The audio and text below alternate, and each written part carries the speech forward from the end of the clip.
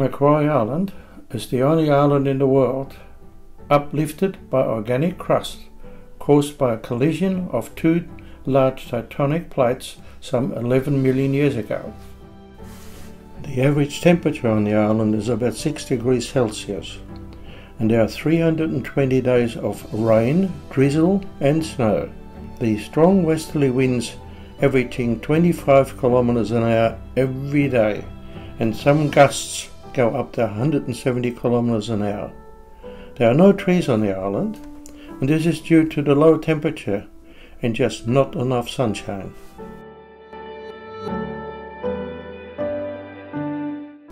After the discovery of the island in 1810, sealing started to happen on the island.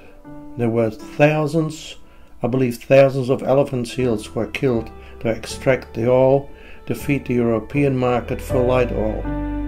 And when they ran out of seals, there weren't enough seals anymore on the island, they turned onto the penguins to extract the oil. And I believe millions of penguins were killed in that period. But I would say the worst part was the killing of the fur seals for their fur. Some 190,000 fur seals were clubbed to death. And when I arrived in 1958, I was told there's a little colony on the end of North Head. And there wouldn't have been no more than 50 or so fur seals there. And the moment they saw me, they squealed and squeaked and ran off into the ocean. But the moment they saw a human being, that was it. In 2018, the fur seal colony has grown back to 2,000.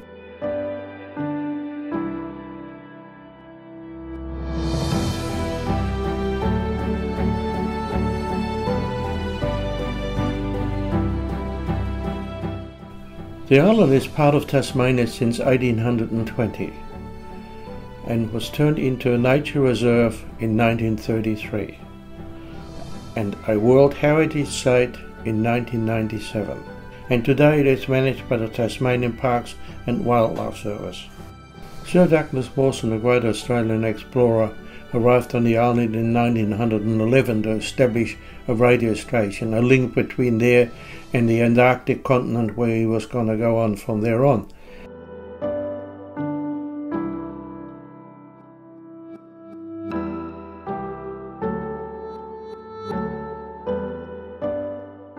When he came back in 1914 to Australia, he became a very strong campaigner trying to stop the cruelty on the island. But it wasn't until 1933 that it was declared as a nature reserve. Macquarie Island was established as a research station in 1947 by the Australian government to study meteorology, geology, the upper atmosphere, and biology, showing the landing in the early days.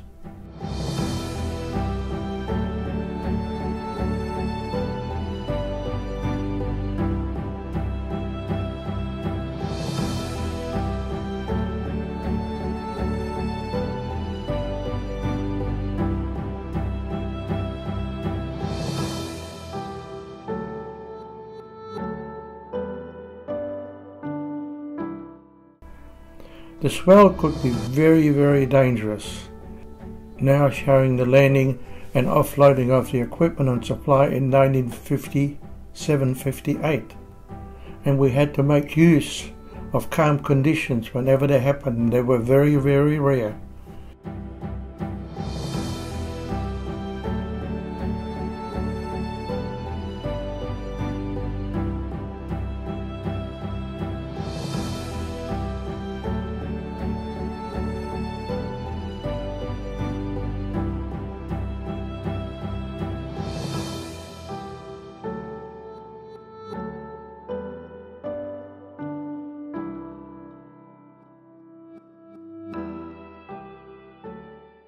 arrived in Australia at the age of 21 and I had no English knowledge. And I changed from a tradesman over to a weather observer. And at the age of 23 in 1958, saying goodbye to my mother, I went to Macquarie Island.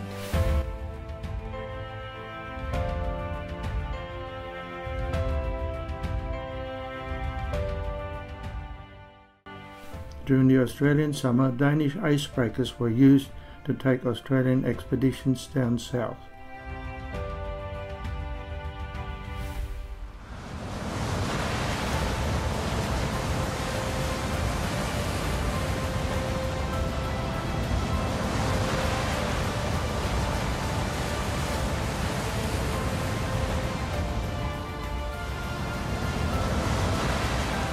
The roaring forties can be very, very rough. Bonding with people from all walks of life. Yes, that's me in the cowboy shirt, in the days when I was a smoker. To the left of me, the officer in charge, behind me, a radio officer, to the right, the doctor, and the radio supervisor. Arriving at Macquarie Island. the main station. It's built on a small isthmus just below North Head.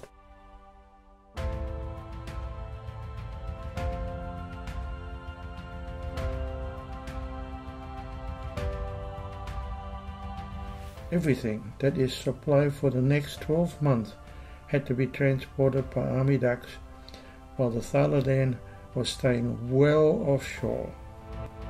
I remember when I arrived ashore, there was a bloke which was the Met OIC with a long beard and long scruffy hair in a birdcage, naked. And then the next person I met was a weather observer with a ponytail. And I thought to myself, my God, if that's what happened here after 12 months, I think I better go back to Australia. Right to left the weather team Leon Fox, also known as the Polar Fox, Officer in Charge Laurie Brooks, and myself. Being the International Geophysical Year, we released weather balloons to be tracked by radar up to about 30,000 meters. Showing North Head the grave of an expeditioner who refused to be operated by the doctor and his appendicitis, I believe, burst and he died. Another grave, this time on a plateau, from an expedition of crossing the plateau, fell into a frozen lake and drowned.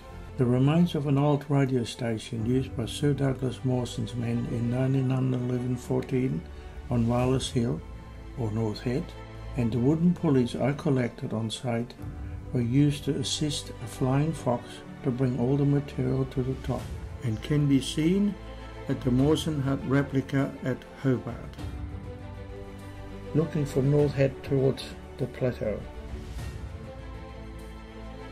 and the station against North Head. Here are looking at Chippis Church, where I spent the first four or five months before the new sleeping quarters were built, and moving into the new sleeping quarters was absolute luxury. I'd like to point out what our sleeping quarters looked like after some 50 years and the station in 2012 with five-star facilities. To the other end of the island on my way to Hurd Point, the home of the Aurora physicist was going to spend most of the year down there. Offloading the supply for the Aurora physicist for the next 12 months at Hurd Point was a difficult, a rather difficult operation. As you can see the Thala Dan in the background, a little tugboat had pulled our rubber pontoon within striking distance of the island. Two men had walked the island over two days to the Hurd Point section when we approached with our rubber pontoon loaded with fuel and other gear. Propelled rocket was used with a rope attached to it to shoot it to the beach. And the two people on the beach, when they received the rope, pulled it around a large rock and we pulled ourselves in along that rope till we got to the beach. Then we started offloading all the supply and the rubber pontoon was pulled back by the little tugboat back to the ship in the distance and the same procedure happened again.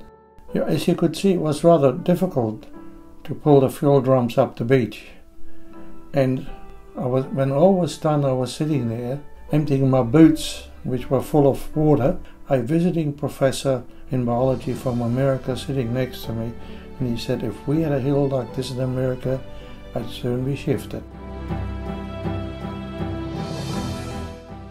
And of course, a well deserved rest, have a warm drink. After finishing at Hurd Point, it was time to get back to the main base.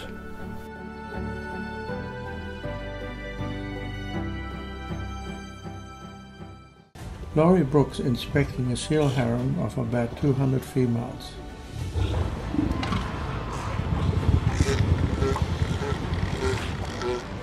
And the Beachmaster on its way to shore.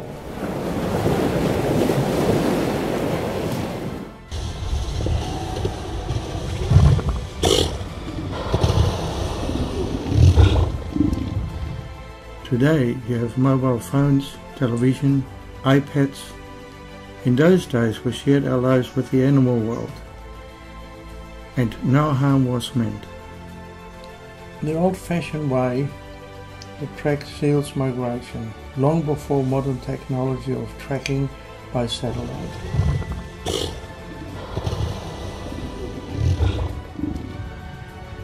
A skua protecting his young.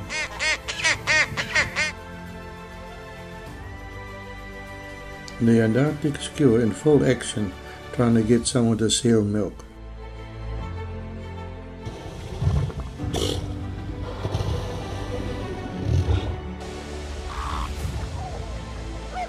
Or trying to lure a penguin off its nest whilst his partner dives from the air to steal the eggs.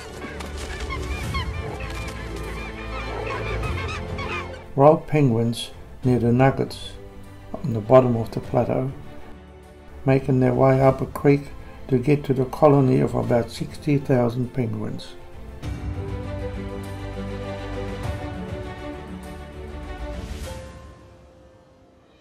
At North Head, you find the ever inquisitive and at times attacking little rockhopper penguin. We called them the clowns of the penguins. Also home to the black-browed albatross. Whilst the Gentoo penguins built their nest mostly on flats. On my way to Hurd Point going up Gatchet's Gully, also home to the beautiful Sooty albatross. I too managed to fall into a frozen lake, but I got out again, thank God, and had to walk for two and a half to three hours soaking wet till I got to Green Gorge. And now Green Gorge in 2012. Continuing along the shore to Hurd Point, passing a large king penguin rookery. But at some stage I had to climb back onto the plateau.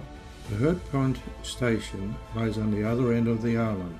Looking down to Hurd Point station from the plateau, the station where I spent a week, and I visited nearby, I believe, the largest wild penguin rookery in the world, well over a million and also the royal penguin's only nest on Macquarie Island. To finish the year, I visited with the biologist at Bauer Bay, a wanderer albatross nest. For the first time we documented a grown chick still being fed. The span of the chick, if I remember rightly, was 11 foot and 3 inches. Our two night stay at a 5 star box and a 5 star in 2012. The 16 man expedition of 1958.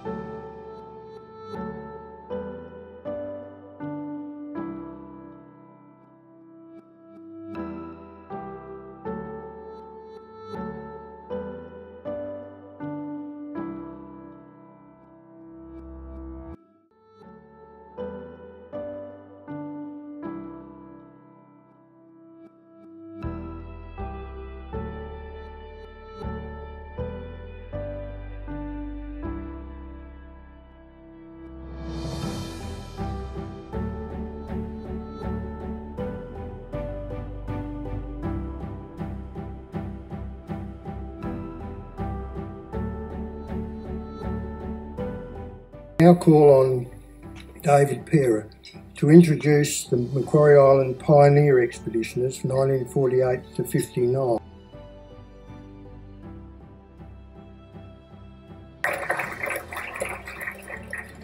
Uh, just first of all, I'd like to pay tribute first to my wife because so much of what we've done is together. It's just not me. She's an equal in a filmmaking team. 1958, Horst Munstermann, who is um, was a weather observer. Horst was a very keen uh, amateur photographer and filmmaker. And um, Liz, inside the brochure under Horst's bio, or later in the brochure, I think, puts a link to his uh, YouTube 10 minute film, which he's made on his life on Macquarie. Well worth a visit, it's terrific. Horst. Thank you very much. First of all, I'd like to say hello to Bruce Cook and Doug Twig, which I probably haven't seen close up for the last 60 years. And it's nice to see them here today. My experience about Macquarie Island goes back, and I think I have to start from the beginning. I came to Australia when I was 21. I didn't speak one word of English. I was a tradesman. And two and a half years later, I had changed over to a weather observer, learned the language very fast because I thought that's the only way to get back at the Aussies who called me a bloody new Australian, and I could swear back at them. And when I got to Macquarie Island, I made a very strange experience. It was all new to me. And you mentioned a while ago about the Met man who liked the rabbits. Tony mentioned that. He happened to be in a cage, in a bird cage when we come ashore. Long beard, and he was naked. And I thought to myself, my God, I, I see Phil Law's face still in front of me. He was disgusted. And a bit further down the track, there was a bloke walking along. He's since passed away too, Bill Callis. He had hair down the ear. And I thought to myself, I'm going back to Australia. I'm not going to stay here, they're all mad. And going a bit further about Macquarie Island, you mentioned a while ago about Hurd Point, bringing all the stuff ashore. Uh, I still see this in front of me. Phil Law was all about photography, about making movies. And because it was all publicity. And here he was. The, the rubber pontoon came ashore, we all raced onto the rubber pontoon, get something, and Lim Macy got caught underneath the rubber pontoon. And Phil said, Hang on, hang on, I'm filming this. You've got to stay underneath there for a while. and after, after we were all done sitting ashore there, and we really were done, we worked so hard. I had an American observer sitting next to me, a professor of biology. He said to me, Harry, if we had a hill like this in America, it'd soon be shifted. And I made the mistake too, falling into a lake on the way to the other end of the island where the Aurora physicist was. I walked by myself and I crossed the lake and I fell in with a 60 kilo backpack on my back. And I got out of it and I walked two and a half hours soaking wet to Green Gorge. I'll never forget that. It was a horrible experience. And going back to Antarctica, I was lucky enough to go down to Mawson in 1960 and I can only say this country has been great to me. I had a great experience experiencing Antarctica. Thank you very much.